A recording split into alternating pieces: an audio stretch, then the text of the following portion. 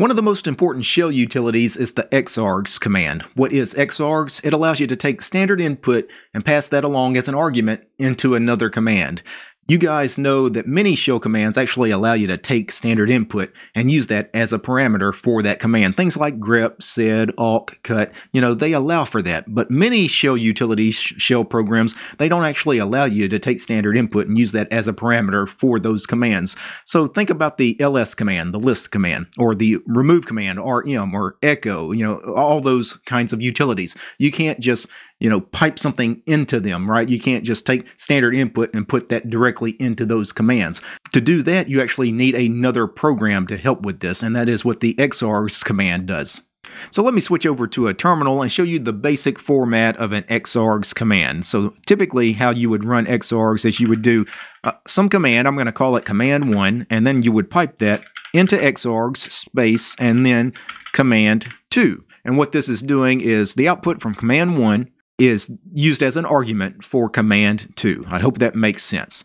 So let me give you a real world example. I'm going to do a sequence of numbers 1 through 5. So I'm going to do seq space 5. That gives me 1 through 5, each on their own line. But maybe I don't want 1 through 5 each on their own line. Maybe I want to pipe that into Echo because Echo would take that 1 through 5 and give me 1 through 5 all on a single line. Well, the problem is you can't pipe into Echo. Echo's one of those commands that just doesn't take standard input like that as an argument. But what you could do is pipe sequence 5 into xargs space Echo, and then you get 1 through 5 all on one line. Now, I actually did not need to add echo to this command here because by default xargs if you don't give it a second command to use it automatically defaults to echo so if I run that without the word echo it returns the same output. One of the flags you need to know about with xargs is the dash T flag. So let me run that a sequence 5 again and then pipe that into xargs and what I'm going to do this time is give it the dash T flag, and that will say, hey, tell us the command that is being used. What, what are the arguments being passed into? And that's going to print out two lines now. You still get your standard output, which was the one, two, three, four, five, but it also prints out the actual command it runs to get that output. And of course, the command it's running is echo 1234 because by default, xargs uses echo unless you specify something else. Maybe instead of echo, we'll do printf. it says printf 12345. It actually can't run that command because of excessive arguments. We probably needed that being wrapped in quotes, and of course, it's not wrapped in quotes. One of the most common shell commands you run is the ls command. The problem with the ls command is it also can't take standard input as a parameter, but what you could do is you could uh, pass uh, a command into xargs and then pass along ls. So if I ran ls and pipe that output into xargs and ran another ls, it's actually going to run it's, it's actually going to run ls on every single directory and file on on this directory. So it's almost like a recursive ls, which ls has the ability to do recursive listing anyway. So it's not really that useful of a command, but that was just an example of how you could pipe something into ls using xargs. Now on Linux systems, there is a file called slash etc slash passwd, which lists all the users on your system, every single user on your system. Um, the problem with this particular file, if I catted it out, you see it's kind of a mess to read because there's really no spaces. It's a, a bunch of information, columns separated by colons. But we could actually clean this up a little bit. So what I could do is I could run this command here. This is the cut command dash D using the delimiter, the colon. Uh, I did a video just a couple of weeks back on the cut command, so check out that video if you're unsure about what cut does. But it's what it's going to do. It's going to go and use all the colons as delimiters, and it's going to grab the first field from each line. So it's going to grab the, the first column from each line of the slash etc slash passwd file. And then it's going to sort it, so it's going to give me an alphabetical sorting, and then we're going to pass it into xargs which xargs, of course, is going to use echo, and it's going to spit out a list of all the users on the system sorted alphabetically on one line. The next flag I want to show you is the dash capital I flag. So if I ran a ls command here in my home directory, then I'm going to pipe that into xargs, and I'm going to give it the dash capital I flag.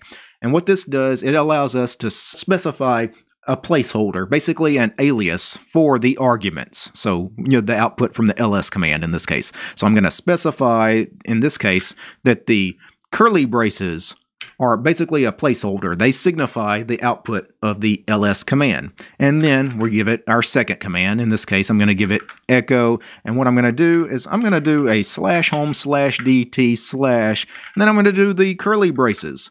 You see what that's going to do there? Again, the curly braces are the argument, right? It's the output from the ls command. And what it's going to do is it's going to echo slash home slash dt slash the name of the file or the directory because that's the output of the ls command.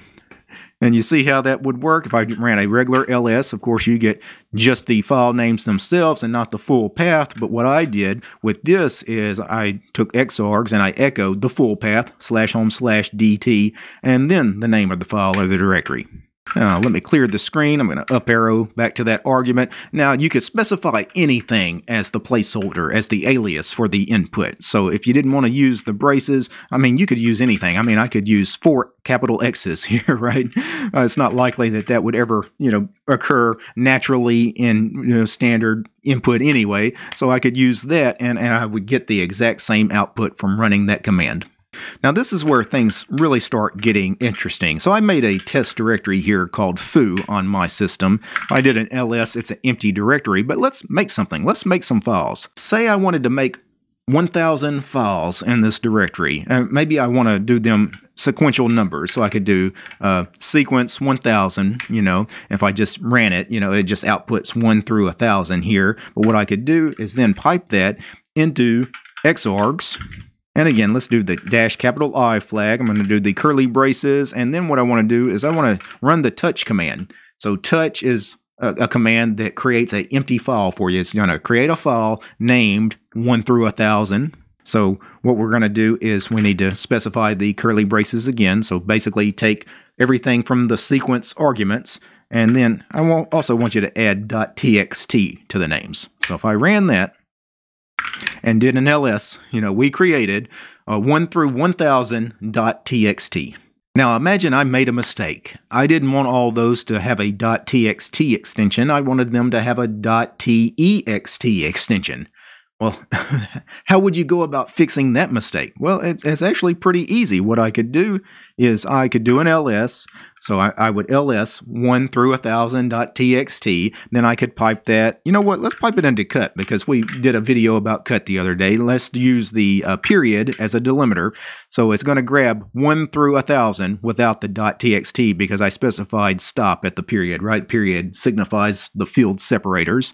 And then I only want you to return field 1, so dash F1. So it's just going to give me a list 1 through 1000, those numbers. Then let's pipe that into xargs and give it the dash capital I flag one more time. Let's do the uh, squirrely braces. And we're going to do the move command this time. I want you to move all of the arguments dot txt and I want you to move them to all of the arguments dot text. And if I did this correctly, run a ls. Now all the files have been renamed essentially. So now I have 1 through 1000.text. Now sometimes you don't want the output to be all on one line. For example, if I ran a ls and pipe that into xargs, and remember the dash t flag? If I did that, you know, it's, it's going to be a massive amount of output. But at the very beginning, remember what it's actually running is echo and then all of the output. And then, of course, at the end, it actually gives the output. So it's a very massive list of stuff here. But you don't have to have it treat uh, every argument like that. You can specify a max number of arguments. So I could do dash n 1, for example. And if I hit enter there, you see it takes each argument separately. It runs echo 1, and then you get the output, echo 2, then you get the output, echo 3, output, etc., etc., instead of echo 1 through a 1,000 and then get the output for the whole thing. I hope that makes sense. So dash n is a number of arguments. If I did dash n2, what it's going to do is it's going to echo them two at a time. So it's going to echo 1, 2, and then it's going to echo 3, 4, etc., etc. Another example of a dash n flag. Let me do a sequence 5 one more time. So we're going to do dash n1, so just the max arguments is 1. And then the second command we're going to pipe this into, I'm going to pipe it into bash. We're just going to do uh, some shell here. We're going to run the echo command, dollar symbol zero. If I ran that, I get an error because I obviously did not add the S to xargs, but there is that. Now, uh, why did I run that? Because obviously that's just a very long and convoluted way of just doing sequence 5 piped into xargs without all the extra stuff. Is because I want to also add the dash p flag for the number of processes. So n is the max number of arguments at a time, dash capital P is the max number of processes at a time. I'm also going to do one process at a time, and then the command bash echo, and then run that. It's the, still the same thing, but you will see it's actually not because what I'm going to do is I'm going to do echo dollar sign zero, and then I'm going to do semicolon. I'm also going to tell it sleep one second. So what this is going to do is it's going to take one argument and one process at a time, and in between it's going to sleep for one second. Now watch what happens. One, two, three, four, five. So that's kind of cool. So you have the dash n flag. Again, that's the max number of arguments at a time, and the dash capital P flag, that's the max number of processes at a time. And just to make sure no one's confused thinking, well, max number of arguments, maximum number of processes, are they the same thing? No, they're not, because if I did dash P two for two processes at a time, you see, now I get, you know, two processes at a time. It did one and two together at first, and then it did three and four together on the next process, and then it did five by itself because there wasn't a, another argument to go along with five to make that two. Now, probably the most common command people use uh, with xargs is the find command because uh, the find command is really powerful, but you can't really pipe anything into find. But of course, you can use xargs with find. So I'm going to paste this command here. So this is a find command. What this is going to do is we're in that foo directory that has 1 through 1000.txt. Remember that? Well, what we're going to do is I'm going to find in foo, this directory, dash type f, find all the files, dash name that have dot .text as an extension, and then we're going to pass this dot .exec flag. That is execute this command, remove rm. Remove all the files that have dot .text at the end. Now, why would I use xargs if find has this execute flag. Well, the execute flag for find actually is kind of slow. I mean, it works, but it's kind of slow. I could run that command, by the way, and it, no, we're already in foo. Let me cd back up into home, and then from here, specify find in foo type file name.txt, execute the remove command on all of the arguments. And if I cd back into foo and did an ls, that is an empty directory. We deleted those 1000 files. Now let me create those 1000 files one more time. I'll rerun that sequence command, sequence 1000, pipe it into xargs with a dash capital I flag, and then run touch on that. So we get all of those created. Now, other than using find with the execute flag, a better way to do this is actually to just use xarg. So if I go back up here to that last command, what I would do is Let's remove all the dash exec stuff and just pipe that into xargs and then remove. That's all we would need to do. Uh, again, I'm actually in foo already, so instead of find foo, let's just find period. So we're in the directory foo. And then what this should do is remove all 1000 of those files for us, and that's exactly what that did.